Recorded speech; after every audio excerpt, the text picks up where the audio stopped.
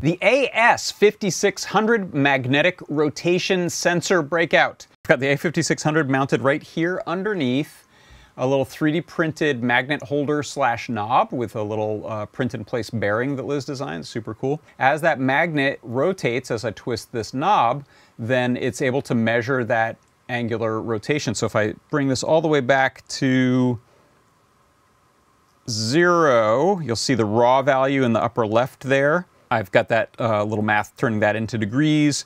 And then I'm also counting revolutions. So you can see here, the raw value is going to flip back to zero. The degrees are going to flip back to zero, but the revolutions I have there just counting. So you can see if we spin, spin, spin this, we're able actually to just count how many times we've, we've gone around. This is my product pick of the week this week. It is the AS5600 Magnetic Rotation Angle Sensor.